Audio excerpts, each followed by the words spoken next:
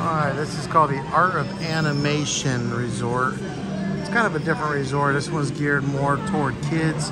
As you can see, it's got like artwork and those pictures there, all on the walls there. That's all like artwork style. Over here, this is like artwork, paintings, art of animation.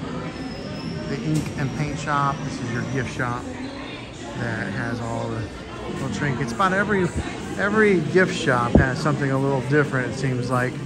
Like we found a coffee mug here that we really liked that we hadn't seen in any of the other gift shops. And we've been to a lot of the Disney gift shops, but they also have a lot of the same stuff too. But uh, yeah, this one's decked out to be like art at the very top.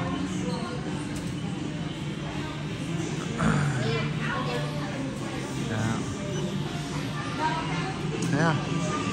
And then over there's a cafeteria. Another one down.